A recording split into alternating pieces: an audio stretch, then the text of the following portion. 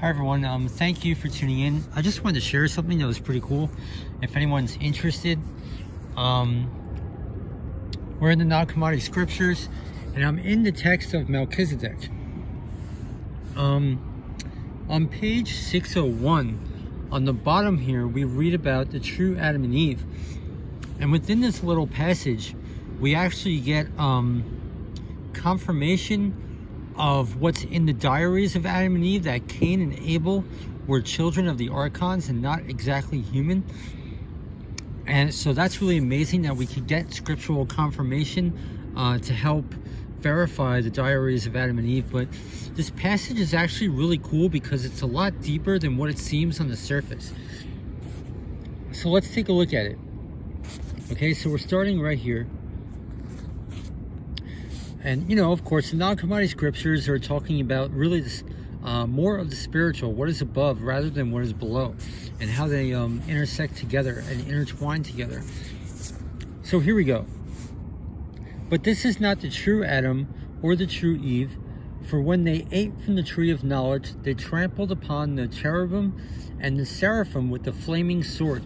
Now that is a really deep scripture to meditate on we know after Adam and Eve ate from the tree of knowledge, they were banished from the Garden of Eden um, by the cherubim by a flaming sword. So we reap what we sow.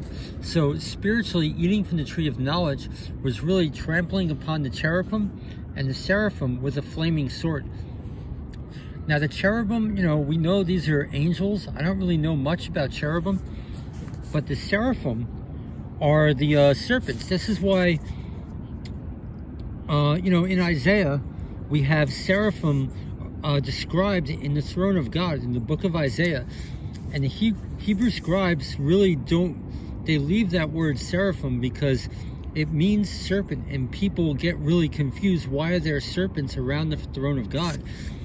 But we learn in Nag Hammadi scriptures that the serpent below here on earth causes fire, persecution, and tribulation but the serpent above means redemption. It means salvation. So we receive our salvation through our persecutions and all that kind of stuff. Um, we receive our heavenly glory through our persecutions.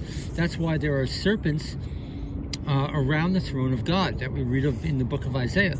So that that's really cool. So these are really deep scriptures to meditate on um, that are deeper than what they seem on the surface. So all right, let's continue. You have to pardon me. I'm I am highly harassed, and um, our local friendly helicopters say hi. Say hi. Yes, master. Yes, master. Okay. Whatever you say, everything you say is correct. Whatever you make me think must be true. Okay, so let's continue. So now we're getting into the depths of the diaries of Adam and Eve. The world ruler and his archons met the bride of Adam. So when we read the footnote, um, we read that this is Eve. Eve was the bride of Adam who was with him. Okay, so this will take us into the accounts of the, re the reality of the rulers or the nature of the rulers and the origin of the world of the account of Adam and Eve in the garden from those two texts in the Nag Hammadi scriptures. So it tells us that when Eve was talking to Adam, the archons, you know, the fallen angels and stuff got very jealous and they defiled her. And, but, and then it says she, she left a shadow of herself, turned into a tree and laughed at them. So this is a mystery to what we read of in Malachi 2. Um, what happens, you know, because it's, it's the devil's way. They just want to rape and uh, pollute everything. That's all they practically know. So what the scripture is telling us is confirming a revelation, and it's such in a nonchalant way. Let's read it again. The world ruler and his archons, excuse me, met the bride of, of Adam, who was with him and they were polluted by her. So we have that revelation from what we read of when Eve laughed at them when, when they raped her. She, she went up to a higher heaven and all that kind of stuff, turned into a tree. So when, by they polluting her, she ended up polluting them. That's what this is telling us. And that's because we're living in this time now. It's no different than it was uh, way back then. So they're just really polluting themselves because, you know, the serpent, Satan only sees with one eye and can't see past his one nose. Sex is their God. Making babies is their God, and they can't really see past anything else. So, in their attempt to pollute, they themselves will be polluted. So, that's really amazing. After they, now this is the kicker, after they begotten offspring of the archons with their cosmic influence, those who belong to, and it's fragmented.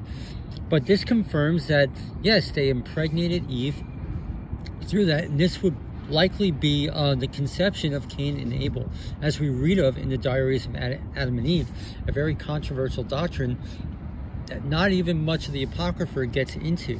But this indeed is a confirmation.